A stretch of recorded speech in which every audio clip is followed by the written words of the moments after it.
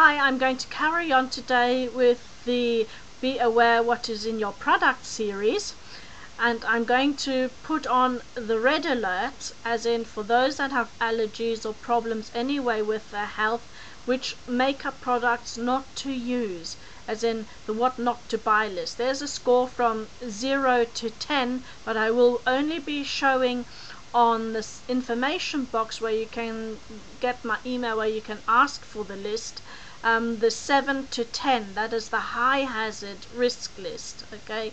So if you want to know what these products are then click on the, the link to my email and just simply ask me. I will send it to you in a PDF form because often it entails um, three or more pages of the products right so Today I'm going to be doing the blushes. Okay, so everything red alert on blush. So if you want red alert on blush, please email me. And my email will be in the box over there and or on the video. I will see how I can do that.